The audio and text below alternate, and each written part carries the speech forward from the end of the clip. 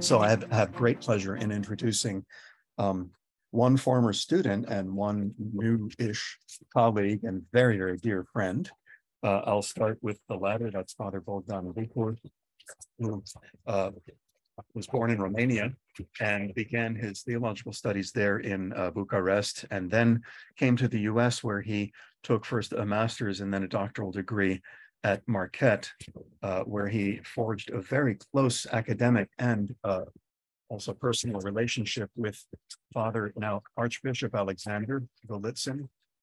Uh, and we really feel the, the character of that relationship uh, in, in Father Alexander's teaching and in Father Bogdan's teaching on uh, the church fathers and uh, specifically also on the reading of scripture.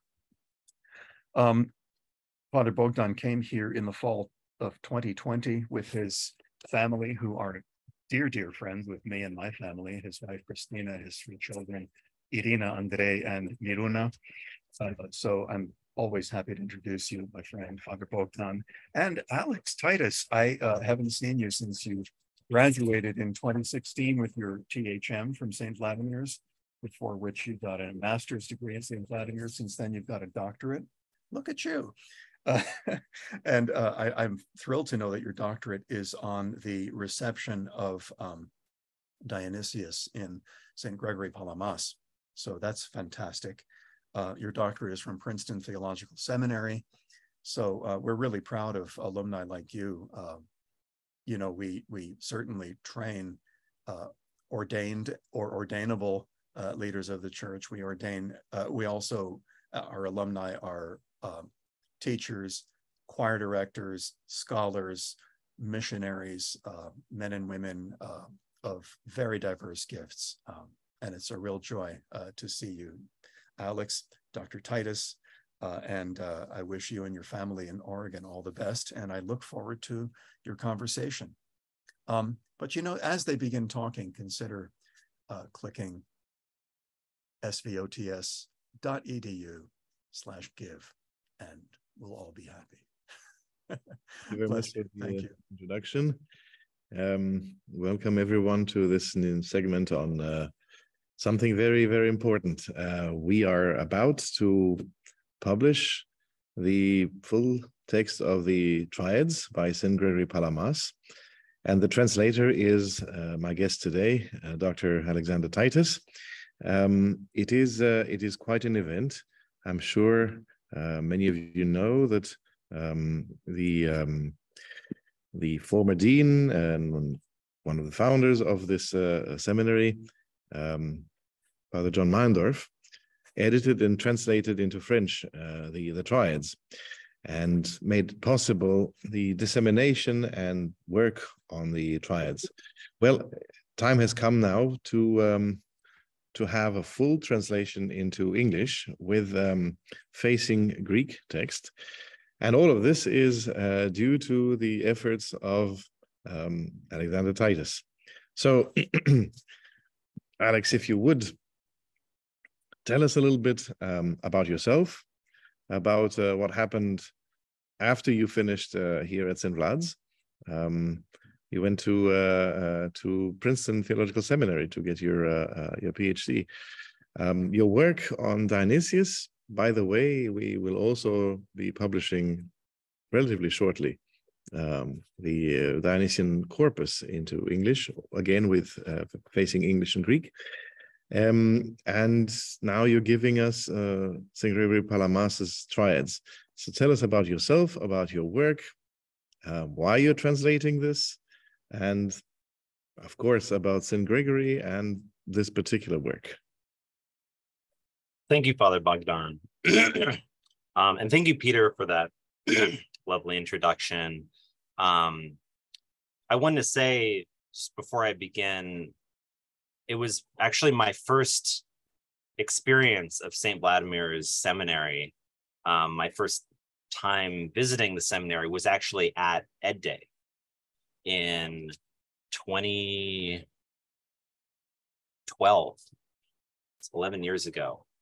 Um, and I took, uh, I remember uh, while I was visiting, I got to sit in on one of Professor Bouteneff's classes actually. And I said, I'm in the right place. So it's real, um, it's a real honor to be asked.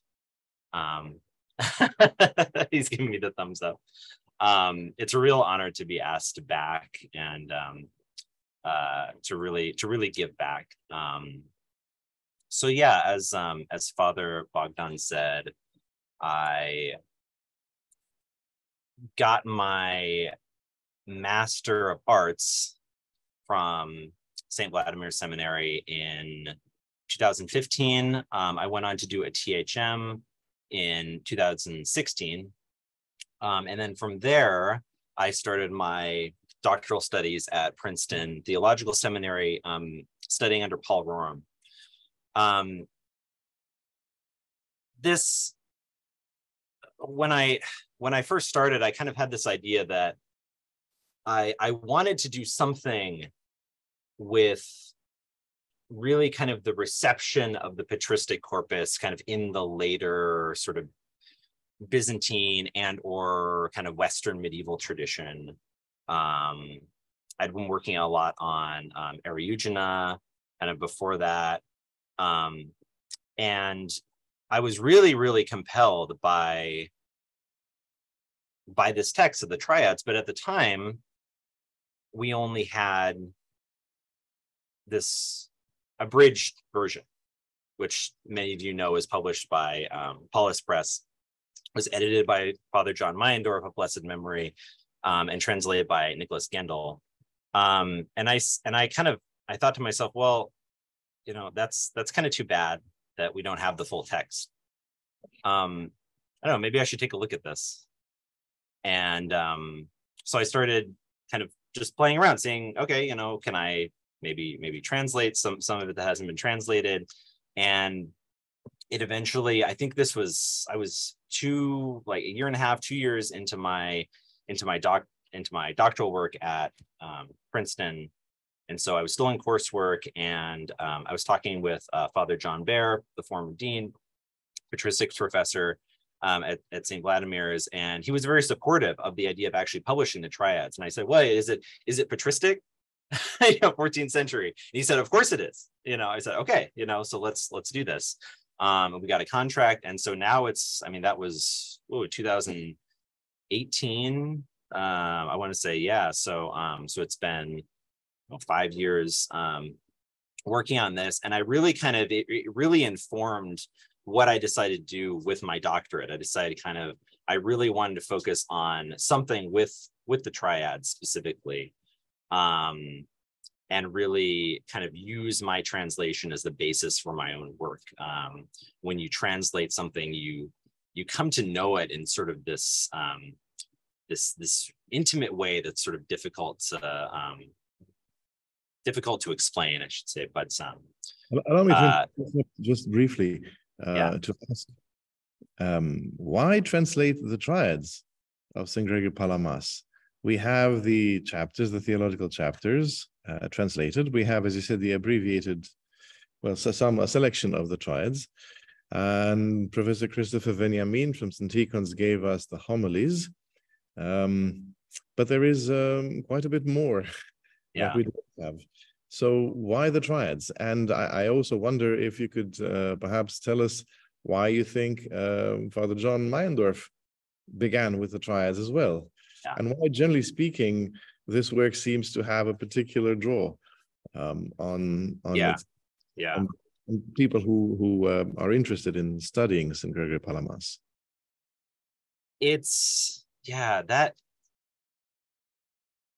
it's difficult to answer sort of in in words actually um but the text just drew me into itself it was so profound and beautiful and um mm.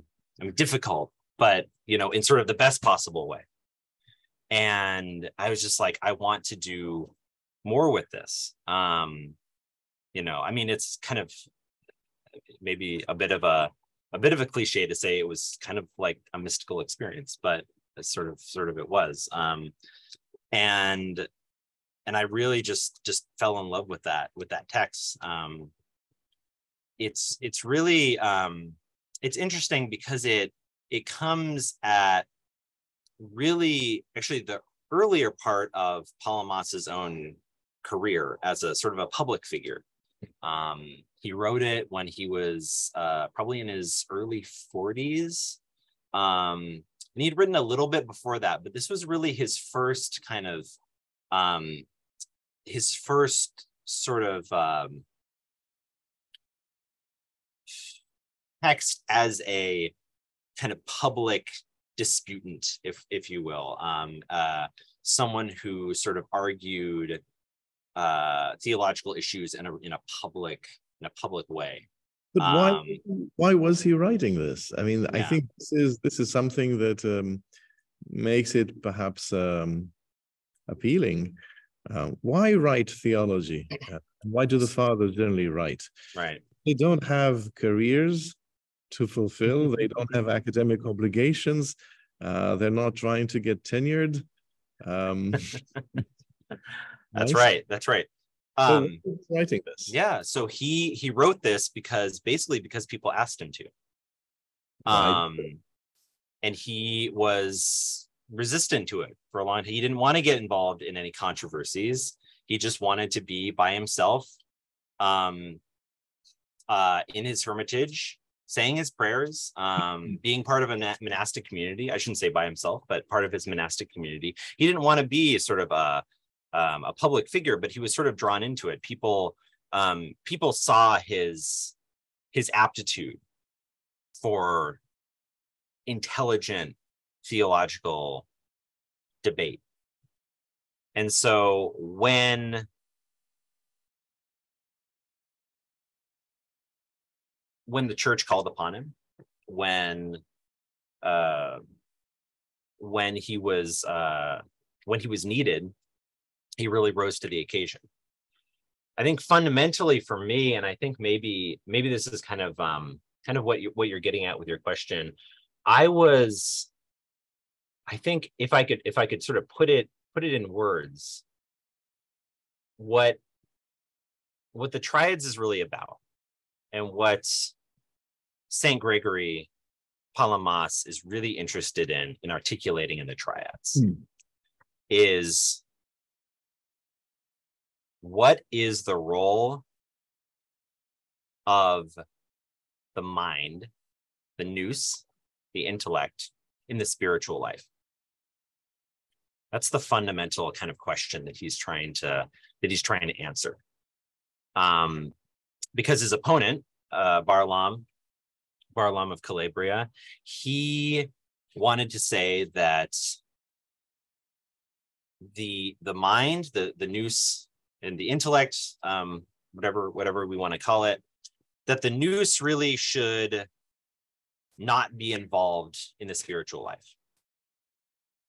That the nous needs to kind of go off and do its own thing. If you're if you're a monk, you can you can say your prayers, you can study scripture, you can go to the services, you can do your monastic obedience, but then you're going to have kind of a private intellectual life sort of separate from that. And that's what Palamas was arguing against, kind of from the outset. That's sort of what set him off. he said, he said, no, that's not right. The, the nous needs to be integrated into the spiritual life. It needs to be involved in prayer. It needs to be centered in the heart um, for it to really do what it was created to do. And that's really kind of what what the triads is about. And the kind of the the question the, the answer that he that he that he provides, what is the role of the of the the mind in the spiritual life is the mind, just like the whole part, the whole human being, including the body, is to be deified, is to be divinized, is to participate in theosis. So then it becomes a question of, well, what do we mean by divinization, deification, theosis? and that kind of becomes the later part of the triad, sort of answering that question. Well, what do we mean by that? It will certainly not escape notice uh, that uh, we are doing this um, Ed Day this year um, on the 5th of August um, and preparing to celebrate the Transfiguration. If St. Gregory Palamas represents, as, uh, as you um, explain it, a paradigm of theology that we, uh, that we try to follow, um, that the Orthodox are, are, trying to hold on to, um, we can also say that the transfiguration in a way encapsulates everything he wants to say. And it's not by accident that he returns again and again and again to the feast uh, to the hymns of the feast uh, to the biblical accounts um, to the experience that is uh, that is typified there. So i added here um, to the right or to the left i don't know exactly uh, to the right i think uh, on my screen of the uh, triads um, of the um, um, well, of the image of the book, a brief, brief quotation from St. Gregory, um, which I think um, tells us what he is about. His project to, is to justify or to defend a life that already exists. It's theology that comes out of a specific life experience, a specific experience of prayer and of Christian discipline. Um, and to defend this against challenges that you've um, you've just explained. So um, moving to the to the text, as we do have a few texts here. I don't know how to. Ah, here's a nice passage that I think would make for a, a good entry. Um, everybody knows that uh, to speak about uh, uh, the luminous experience of God or God manifested to us, uh, to us as light uh, is certainly true, and I think all Christians would agree when we speak about the age to come, because we read that the righteous will shine like the sun in the age to come. So there's no disagreement there. But um, there might be disagreement or the need for nuancing. At any rate, there's some confusion that needs to be dispelled, and he does dispel um, on whether this is available here and now, or perhaps whether this must be available here and now in order to be then experienced in the age to come. And so, in some, he says the vision of God is of this kind. I, I added bullet points there. They don't exist in the text, but that which only those deemed worthy of the blessed allotment will see in the everlasting age. All right, so the the blessed one in the in the age to come will see God uh, as light, but then this light, which even in the present age, the chosen apostles saw directly, and he's referring to the uh, transfiguration here, as well as Stephen, the first martyr, when he was being stoned. So also Anthony, Saint Anthony, uh, drawing on uh, Saint Athanasius' life of Anthony, as he's laboring in hesychasm. Uh, and moreover, all the holy fathers, that is to say, all those who have purified their heart. So it's not only a matter of the age to come, it's a matter of the apostles. It's not only a matter of the apostles, but also the church as it begins, the apostolic uh, uh, generation, as well as all those who labor according to this tradition. Um, Saint Anthony, certainly, and all those disciples of his, all those who purify their heart. Who is it among Christians that does not want to purify their heart? And I maintain, he says, that even the prophets and patriarchs, that is, the Old Testament uh, holy ones, did not leave this light untasted. And what is more, that all of their visions, except for a few, and especially the most divine of these, were not without a share in this light. I also added from the first triad, Moses also saw the light in this way, along with nearly all of the prophets. So nothing is left out, it seems. and at the same time, this is what he is defending, right? Um, and we still haven't heard the word energy. And everybody knows that St. Gregory Palamas is the theologian of divine energies. So will you please explain to us what does this have to do with the divine energies, or rather, what do the what does the talk of divine energy and essence and energy have to do with this biblical exegesis that uh, that uh, he gives us here. um, right, right. I know there's so much there. When he talks about the word, when he uses the word energia, energy, he's using this word actually in a fairly particular way. And basically, what he means is this is the self manifestation of God. This is God. This is the experience of God Himself. This is not something that God created to be kind of an intermediary um, between Himself and creatures. This is the experience of God Himself. So when we talk about light, when we talk about glory, when we talk about um, radiance, um, all these words. Um, these all for Palamas kind of point to the same, the same experiential reality. When, when he uses this word also, he's drawing, and he's really drawing together, I should say, uh, a fairly substantial tradition of patristic material. He's drawing on Dionysius, especially. Uh, Dionysius uh, typically uses the word uh, dynamis or powers, um, proodoi, processions. Um, Saint Maximus, the confessor, will speak about the things around God, ta peri theon. And sort of Palamas says all of these sort of point to the same reality, that this is God manifesting himself. Importantly, though, this is not the divine essence. He said this is like, it's like a fire, or it's like the sun.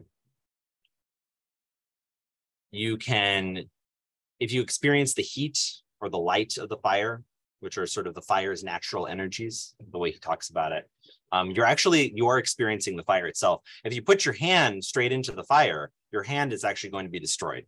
It's going to be annihilated. So that can't be that can't be how it works.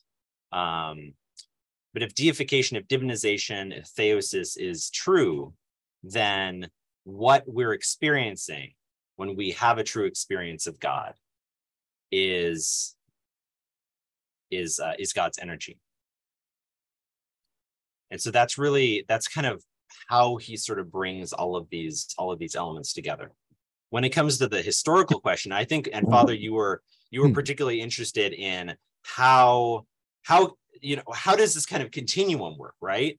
You have the prophets, the patriarchs, and then you have Saint Stephen and the monastic fathers and then the age to come right there's kind of uh-huh. this continuum we just switch the screen to to this uh, text that is uh, um, really going through through all these passages right.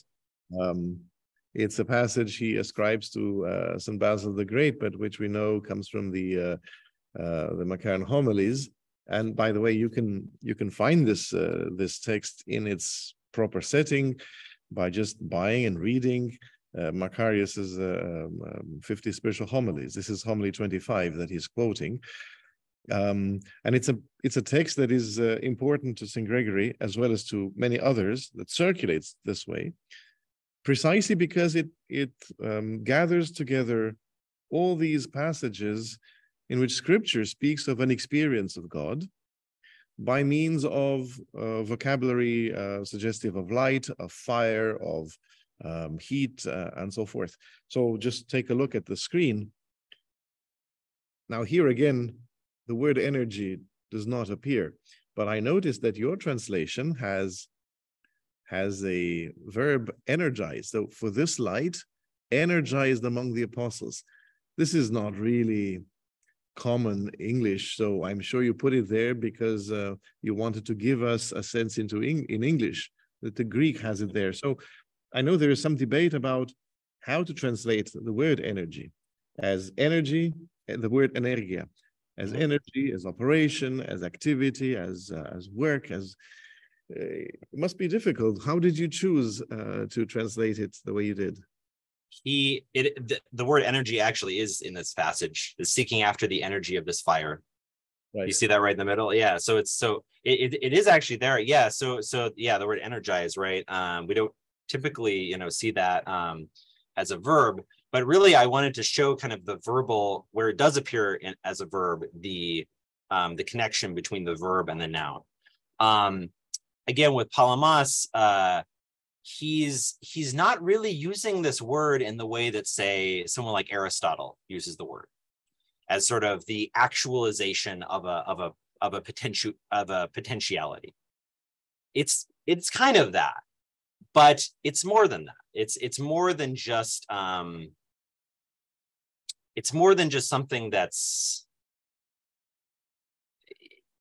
the, the word activity can somehow it can sometimes uh seem make it seem like these realities are somehow fleeting or passing away. Um whereas for palamas these are actually yes some have a some, you know some have a beginning and he sort of gets into some technical distinctions um later in the triads but fundamentally these these are these are god's everlasting reality. These are how we experience god himself. So for me again sort of he's bringing together all of these words he's using energy as almost a energia is almost a uh, an analog or a or a um a synonym for what would be a big no-no in uh in aristotelian philosophy for dynamis for powers for what you know potentiality something like that so i think actually he uses the word energy in a in a in a very in a in actually a fairly technical way um, so I felt like it was actually um, it actually strengthened his meaning of the word to use um, to use that word to use that word energy as a translation of energia. Um, of course, there are there are good arguments on on both sides, um, but yeah, I, I don't think that it really when you say that heat or light are the activity of fire, right? I don't think that quite captures it, right? um it's really you know these it went but when you say they're the energy of fire that sort of that really kind of i think even in english that sort of that really kind of strengthens it and brings it um brings it uh or brings our understanding to a to a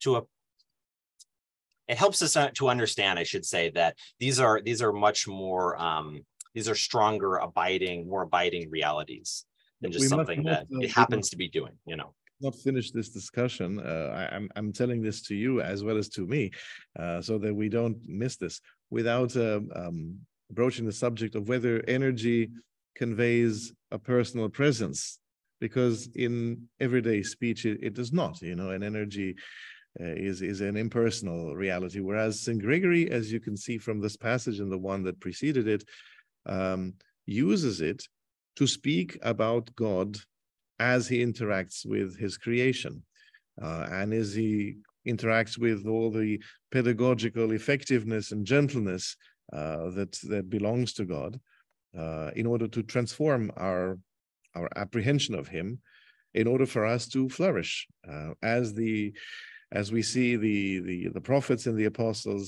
um, within the glory on Mount Tabor. Um, Nevertheless, even though energy is one way in which one can speak, uh, say conceptually, about what St. Gregory Palamas uh, quotes here, passages about fire and light and kingdom and glory, especially.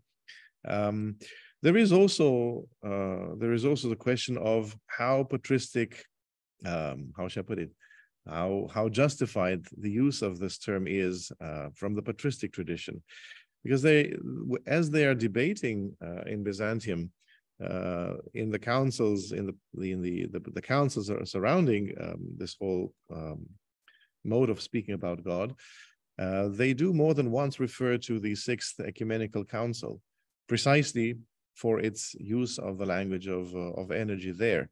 So if you could walk us briefly through how this Christological use of energy uh, was used and how it can be it can be invoked as a precedent to uh, to the um, hesychastic debate, just to show that he's not making things up. This is not the first time, surely not the first time that this is used as as an important theological term. Things go way back. Yeah, yeah exactly. So when when we look at these um, more technical uh, Christological debates that happened in um, particularly contemporary with uh, uh, Saint Maximus the Confessor um, in the seventh century, as you mentioned. Um, there was this debate whether or not, well, does Christ have two energies or does he have one, right? And the church fairly strongly condemned the idea that Christ only had one energy. He said no. Uh, the the, the church said no. And this is following the teaching of Saint Maximus. Said no. Christ has a human energy and a divine energy. And nobody said, well, that means that somehow the energy is Christ's energy is impersonal, right? Nobody, nobody seemed to be worried about that. Um, but when it comes to when it when we when we get to the Hesychast controversy, Palamas, he also uses a fairly technical vocabulary um, to explain how this works. And the word that he uses to describe God's energy is enhypostatic, which is also drawing from the, the Christological debates, where, again, like there was a there was a there was a concerted move to show that the um not just the that not just the energy but the will and the nature of Christ are all substantial realities they all come from the person of Christ himself so there's not they're not sort of like free floating you know um, these are, they aren't sort of self-subsistent realities. The word in Greek for that is autohypostatic. They don't they don't have their own sort of separate uh, existences apart from God. And God, all the person, all three persons of the Trinity share share the divine energies. So ultimately, when we look at the transfiguration, Palamas is going to say that experience of divine illumination is the experience it's the experience of who Christ truly is. It's not something that he's putting on. It's not something that he's sort of grabbing from outside of himself and sort of making a show. It's actually him showing to the to the disciples, the chosen disciples, who he really is, showing um, allowing for this moment his his divinity to shine through and so that experience of the of the uh, chosen disciples on tabor at the transfiguration is ultimately an experience again of who christ truly is. Maybe so that that's kind of that's kind of all of you know what's sort of going on there. And there's a whole obviously there's a whole history there that we don't have time to get into but um but yeah he that you're absolutely right father that Palamas is drawing very strongly from the Byzantine, um, the Byzantine technical vocabulary for these things, the technical theological vocabulary that was largely developed in um, in the context of these Christological debates. So nobody would have been uh, or should have been surprised uh, at speaking uh, speaking about the fact that if essence any essence um, is is conceived as as real, then it must have a natural energy, a natural movement uh, by which it is defined, by which it is experienced. And so, if we speak about God in this way, then uh, the same would obtain. But he seems to me to be, uh, St. Gregory, to be um, in good patristic fashion, um, not necessarily wedded to the concepts that uh, uh, that come to be used um, for the sake of defending the faith. So, in other words, um, the words are negotiable. What is defended by the words is non-negotiable. If you find a better way of defending the experience that is um, uh, that is here uh, on the um, on the in the text, the experience of the prophets and patriarchs and apostles and saints of the church, fine. But energy seems to be a good way to to explain this if there is a if if there's a better way to to explain how God is the living God, that is the God who who is experienced and who who changes uh, people, um, then then then to speak about God in terms of essence and energy, uh, then He will do so. In fact, doesn't He? I think in the in the theological chapters say, well, if if we speak about uh, God as uh, ousia, as essence, then then creatures are not ousia. creatures are defined as ousia, then God is certainly not uh, being, but hyper being, beyond being. That's right. Right. So this is the, the point is to defend a mode of life. And with this, um, with this, I think we have a sort of frame within which we when we hear about energy, essence and energy, uh, we should certainly understand, as St. Basil put it, but the text that is often quoted here, um, it is not that the essence is the essence of God is unknowable, the energy is unknowable. St. Basil says God is known through the energies. So there is on Tabor not a, a, a, a manifestation of energies, but a manifestation of Christ in this mode, right? Right. Um, that's right. That's, yeah, I mean, that's exactly right. Yeah. So, and it's not just known in sort of a mental sense or an intellectual sense, but it's truly experienced. They experienced it with their bodily eyes. They experienced it with their minds. They experienced it with their hearts. So they experienced it with the whole, the whole of their being. Of course, it was for, for kind of a momentary period. But again, that same experience, Palamas says, is what we as Christians have to look forward to in the age to come in the resurrection. That experience that was momentary becomes everlasting. What about a point that I, I know you brought up uh, again, something we should not miss um, the role of the body in this whole thing. Yeah. Uh, uh, would you would you say a few words about the fact that our spirituality, as as we see it embodied in uh, Saint Gregory Palamas's person and in his writings, uh, does not leave the body behind when it comes to transformation by these uh, energies of God, neither in this age nor in age to come. One of the things that Barlaam in particular was really offended by was this claim of the Hesychasts to be able to see some kind of light with their eyes.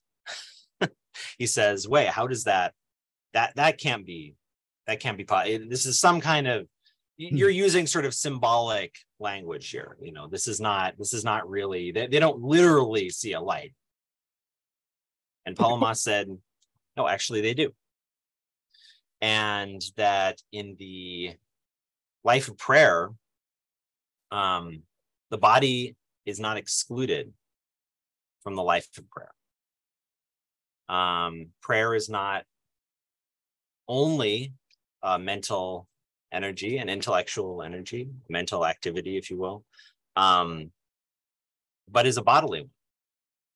Um, this idea that people and people talk about it so much nowadays and sort of um, all kinds of you know kind of new age type of spirituality. Well they'll say i want to have an out of body experience. You know that's kind of the goal is to have an out of body experience. And palamas actually says no an, an out of body experience is a demonic delusion if you're having an out of body experience that's what the pagans wanted. That was that's what the that's what the pagan greeks wanted. They wanted to have this disembodied spiritual experience. No that's actually not what we what we as christians should be striving for. We should not be striving for a, a disembodied experience nor should we should we be just be striving for some kind of like a trance state where we don't where we're we're not aware mentally of what's going on he said that's not how it works either and he gives the example of moses taking the staff in his hand and praying, this God commands him to take the staff in his hand. He said Moses physically takes the staff in his hand. This is not, you know, this is not uh, a mental staff. You know, this is not a symbolic. He physically takes the staff in his hand. He he's aware of what he's doing in his mind, but he's also praying, right? So so all of these things actually kind of come together, and all of these things have to be um, active, energized at at the same time. The the heart, the mind, the, the nous, and the and the body.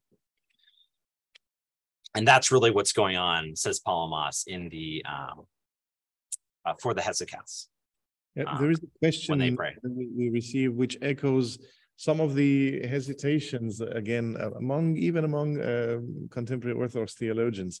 We, we spoke about you know Christ versus energies, uh, whether perhaps the talk of energies doesn't overshadow uh, Christ, but also um, here's the question: While I deeply appreciate the works of Saint, Pala, of Saint Gregory Palamas, do you think there are instances where his emphasis on this type of experiential manifestation of the divine might overshadow the significance of the Eucharist? Um, well, so this is this is an instance. That's an excellent question. Excellent yes. question really, really important. So in this case, in this particular controversy, we do have to keep in mind the historical context that he wasn't really, these weren't really, um, the, the issues of the sacraments were not really things that he was debating at the time. But he was accused, even in his own time, of being a what was then called a Massalian, which is basically which was basically an anti-clerical, anti-sacramental sect from the fourth, fifth century. Um, there were there were people who were described as Massalians even in his own time, even on Mount Athos. Um, there, there was a lot of controversy around that. Um, but it's clear if you look at from his from his Palamas's other writings that he is not anti-clerical, that he is not anti-sacrament, anti-sacramental, um, and in fact, we commemorate um, him as the Bishop of Thessaloniki, right? Right, exactly. Um, he himself obviously was a bishop. Um, he now there unfortunately there were some monks who did fall into that error, um, who did fall into the Massalian error, um, but the church always condemned that.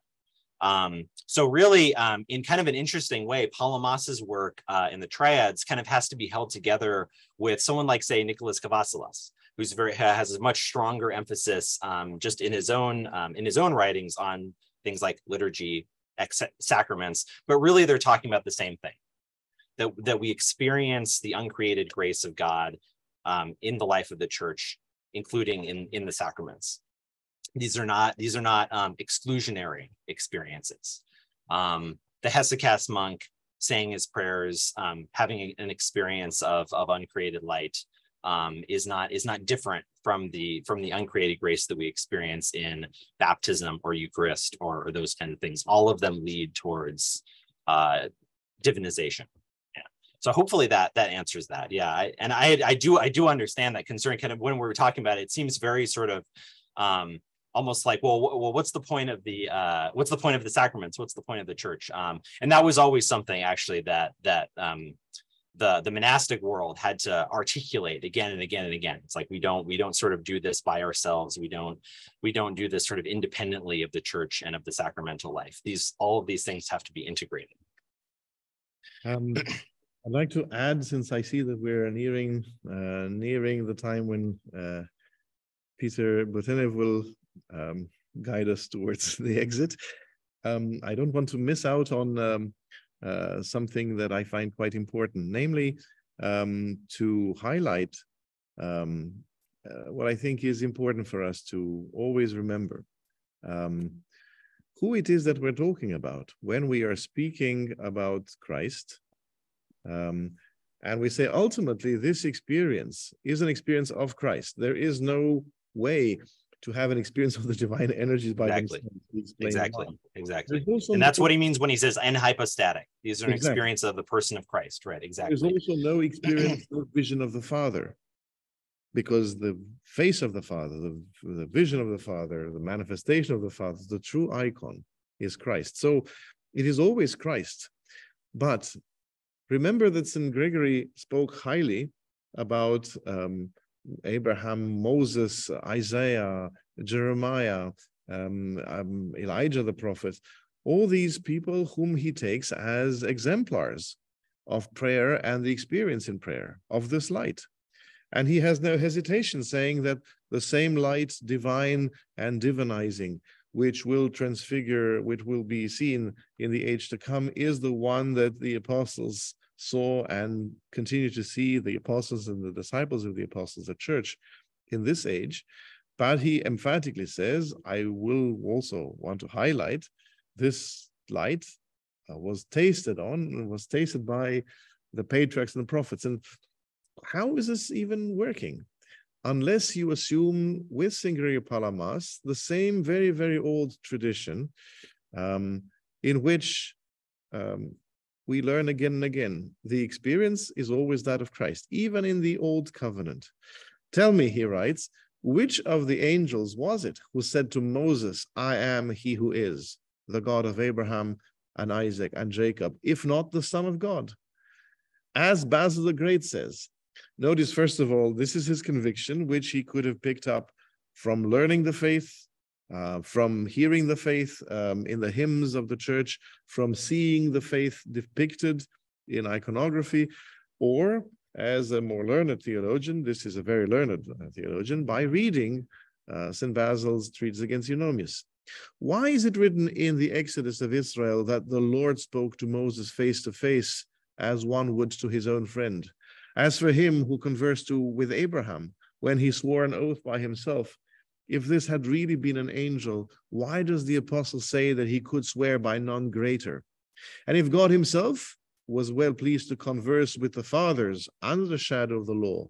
And if after the truth had been revealed and the law had been cleared up by grace, by which it was not an angel nor a man, but the Lord himself who saved us and the very Spirit of God who told, told us all truth, how will God not be manifest by himself, through himself to the saints?